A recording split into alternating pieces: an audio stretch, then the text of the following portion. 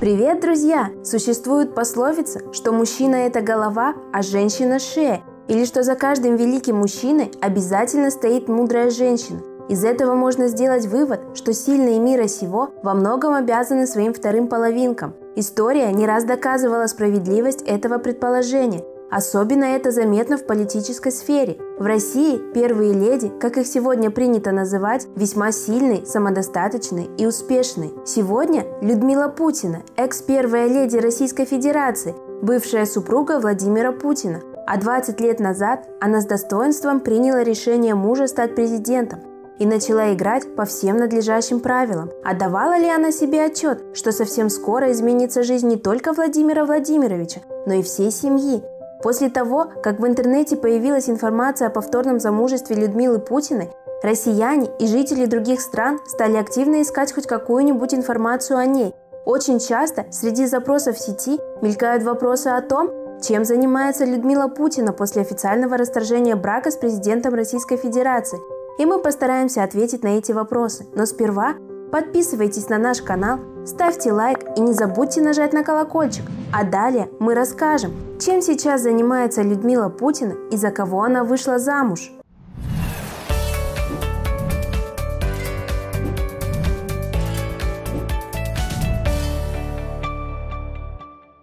Будущая первая леди родилась 6 января 1958 года в Калининграде в семье простых рабочих. Отец трудился почтальоном, затем токарем-револьверщиком, а мама работала кассиром автоколонны – Людмила Шкребнева выросла невероятно красивой и при этом застенчивой девушкой. В родном городе Людмила устроилась работать почтальоном, а затем ученицей на завод. Родители обрадовались тому, что дочь наконец остепенилась и готовится к поступлению в технический вуз.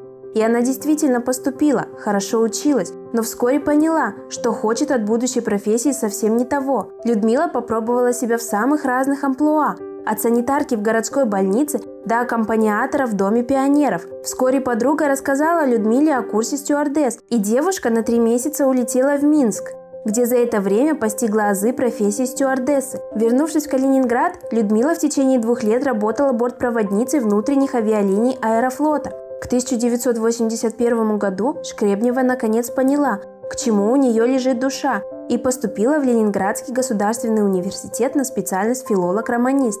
Именно благодаря этому образованию сегодня Людмила Александровна в совершенстве владеет испанским, немецким, португальским и французским языками, в чем соперничать с ней не смогла бы ни одна супруга, по крайней мере отечественного руководителя страны. На время учебы Людмила переехала в Ленинград, где и произошла судьбоносная встреча с ее будущим супругом Владимиром Путиным. Красавица-студентка и молодой сотрудник КГБ познакомились в театре. Поначалу Владимир не произвел должного впечатления на Людмилу, но после недолгого разговора она разглядела в нем настоящего мужчину. «Меня не нужно носить на руках», – признавалась как-то Людмила. А Путин как раз и искал девушку, с которой не надо сдувать пылинки. Ему нужна была боевая подруга, поэтому Владимир несколько лет проверял Людмилу. Он мог опоздать на час-полтора на свидание – Будущая первая леди поведение Путина терпела и старалась выглядеть невозмутимой. Людмила не из тех девушек, кто мог закатить скандал, что-то потребовать или заплакать. Всегда и везде она сохраняла самообладание и тем самым покорила Владимира. 28 июля 1983 года пара узаконила свои отношения, и Людмила взяла фамилию мужа – Свадебное торжество проходило на Невском пароходе. Закрытый и сдержанный Владимир цветами и комплиментами Людмилу не баловал, а в любви признался всего лишь раз, в день, когда предложил избраннице руку и сердце. К слову, тогда же Путин порекомендовал невесте хорошо подумать, ведь у него тяжелый характер. Людмила без раздумий ответила «да». Первые годы Людмила Александровна даже не догадывалась, кем работает ее избранник. Владимир Владимирович мне так и не сказал, что он офицер КГБ, когда познакомились, он сообщил, что работает в уголовном розыске, а я была в этом уверена целых полтора года, вспоминала Путина. Людмила была реалисткой и знала, что работа всегда стоит для ее мужа на первом месте. Тем не менее, оставалась уверена, что им удастся построить крепкую семью. В 1985 году у супругов родилась дочь, которую назвали Марией. Буквально через несколько месяцев после родов Людмила узнала, что вновь ждет ребенка – и в 1986 году на свет появилась их вторая дочь, которую назвали Катериной. Путин продолжал работать в КГБ. В 1986 году вся семья переехала в Германию, куда Владимира Владимировича отправили по службе. Людмила Александровна в свойственной ей манере приняла эту новость спокойно. Для Людмилы самым счастливым временем стали годы, проведенные в Германии. Дочки-погодки занимали все ее время, и она с радостью погрузилась в семейные хлопоты. Путин в дочках души не чаял. Он их всегда баловал, а воспитывать приходилось мне, рассказывала Людмила Александровна.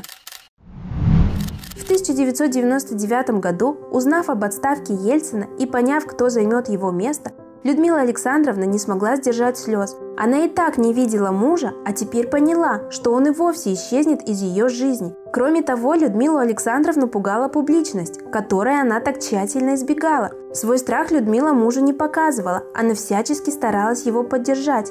Людмила Александровна с достоинством разделила с ним эту ношу, став первой леди России. К своим обязанностям первой леди Путина приступила только спустя год. В это время она начинала заниматься организацией благотворительных мероприятий и филологических форумов. В статусе первой леди Людмила Александровна принимала многие зарубежные делегации, а также изредка сопровождала мужа в заграничных поездках. Эти функции Людмила выполняла не без труда, так как ей тяжело было находиться под прицелом множества телекамер. Поэтому при случае она избегала подобных мероприятий. Из-за этого западная пресса прозвала Людмилу Александровну невидимой женой российского лидера. Еще одним поводом для обсуждения в западной прессе стал стиль первой леди России. Журналисты нередко соревновались в остроумии, пытаясь как можно саркастичнее охарактеризовать очередной наряд Людмилы Александровны. Модные критики не раз отмечали, что Путина носит наряды, фасоны которых портят ее фигуру, подчеркивая ее недостатки. Многие недоумевали, кто одевает на нее эти слишком короткие, слишком объемные или слишком обтягивающие вещи. Ответ дала Людмила Александровна в одном из интервью. «Я сама забочусь о своем имидже».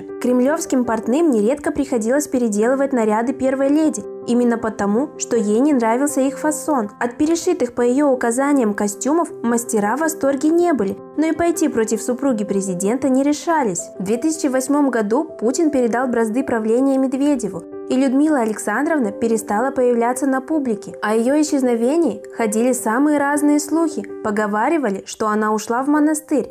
Затем писали, что Путины развелись, Однако Владимир Владимирович продолжал носить обручальное кольцо, доказывая обратное. 6 июня 2013 года Владимир и Людмила Путины во время антракта балета «Эсмеральда» в Кремле дали совместное интервью, в котором сообщили, что их брак завершен. Наш брак завершен в связи действительно с тем, что мы практически не видимся.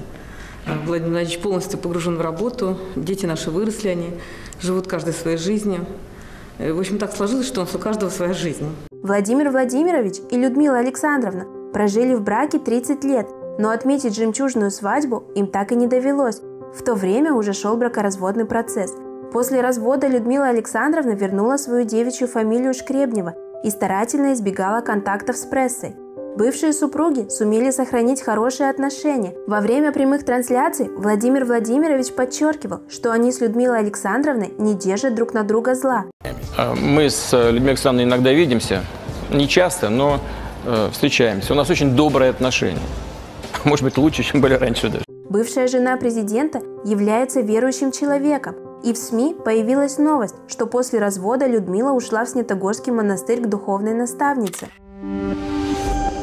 В 2016 году экс-первая леди вышла замуж и в очередной раз сменила фамилию. Избранником стал Артур Очеретный, который младше Людмилы на 20 лет. Артур стоит во главе Центра развития межличностных коммуникаций. Эта организация с момента ее создания в 2000 году находилась под патронатом первой леди, а после развода стала для нее одним из основных источников дохода. Центр владеет домом князя Волконского, аренда площадей которого приносит более 3 миллионов долларов в год. А в качестве конечного выгодоприобретателя агентство Рейтер назвало именно Людмилу, поскольку ей принадлежит 99% активов фирмы Меридиан, которая занимается недвижимостью. По официальным данным, до развода у Людмилы Александровны был весьма скромный годовой доход – 121 374 рубля. Никаким имуществом женщина не владела, Квартиры и земельные участки после развода остались мужу, но вскоре у экс-первой леди появились собственные активы. По предположению специалистов Центра по исследованию коррупции и организованной преступности, она получила от экс-супруга весьма солидные отступные, которые нигде не афишировались. Людмила Очередная занимается сделками с элитной недвижимостью. Женщина приобрела в поселке Миллениум Парк 8 участков земли площадью 240 соток. Эти данные были опубликованы в едином госреестре земель земельных участков. По оценкам экспертов, сумма сделки составила около 430 миллионов рублей. Но Людмила Александровна недолго владела землей и вскоре перепродала ее.